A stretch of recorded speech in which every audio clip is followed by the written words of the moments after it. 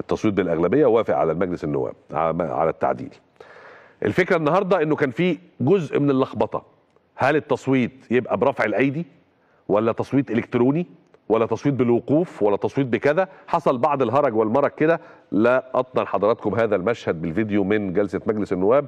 بصوا لحظات التصويت ونرجع تاني.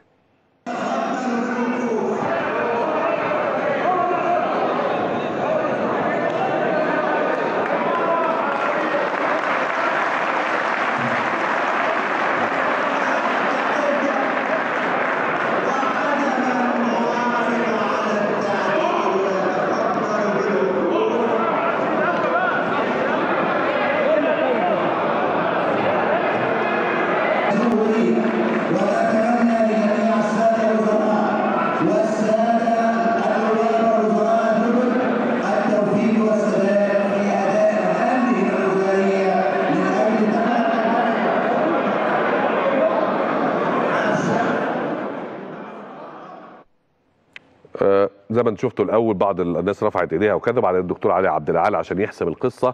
قال لهم الموافقون على التعديل الوزاري يتفضلون بالوقوف فقام غالبية النواب. بس هو الغريب ودي برضو حاجة واضح إنها في فطرتنا في غريزتنا المصرية. لما وقفوا معظم النواب واتضح إن الغالبية هي الواقفه فبالتالي الغالبية هي الموافقة الناس سقفت. الناس سقفت لا معلش تعرف تعملها بالصوت يا ضيا؟ آه. بص دلوقتي أهو. آه ما هو وقف أهو. وبعدين قال لك بص. هنا بقى السؤال. أنتوا بتسقفوا على إيه؟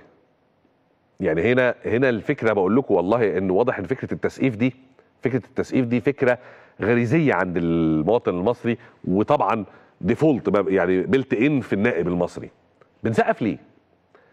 يعني دي ما دي ما فيهاش مثلا خبر عن إنه هنفتح مشروع جديد إن مصر انتصرت في حرب كذا أو مش عارف كذا فطبيعي إن إحنا نسقف على شيء إنجاز شيء لكن في النهاية إحنا لسه ما عملناش إنجاز. ده تعديل وزاري. وأسماء زي ما أنا قلت لحضراتكم إمبارح أسماء بنتمنى بنتمنى إنه يصادفها التوفيق بإذن الله وتحقق شيء لمصر. أنا بقول الكلام ده مش ما ما يعني ممكن حد يقول لي تامر أنت جاي في الهيفا وتتصدر. فأنا في رأيي إنه توافه الأمور توافه الأمور التي قد يعتقد بعض الناس إنها هيفا أنا اللي في رأيي إنها اللي بتبني الشخصية المصرية.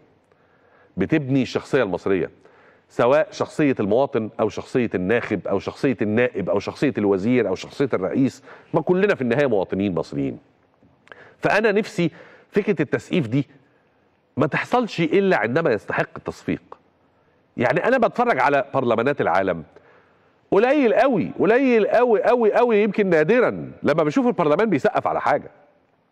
إحنا عندنا مع كامل التقدير لسيادة الرئيس أو رئيس الوزراء أي مسؤول واقف بيتكلم قدام أي ناس لازم يبقى في القعدة 15 16 مرة تصفيق تصفيق اسمه إيه ده؟ ليه؟ يعني هل ده دليل على إيه؟ دليل على المحبة؟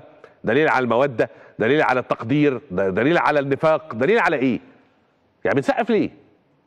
خلاص إحنا عملنا دورنا الموافق على الكذا يقوم موافقة شكرا جزيلا. إحنا بنحب الحكاية دي موجودة بقول لكم في أدبياتنا وسلوكياتنا. لكن يا رب يكون التصفيق ده بشرة خير وإن الوزراء الجديد الجدد دول بجد يحدثوا حالة من التغيير الشامل في أداء الحكومة ويلاقوا الرضا العام من الشارع. وهو ده الأهم.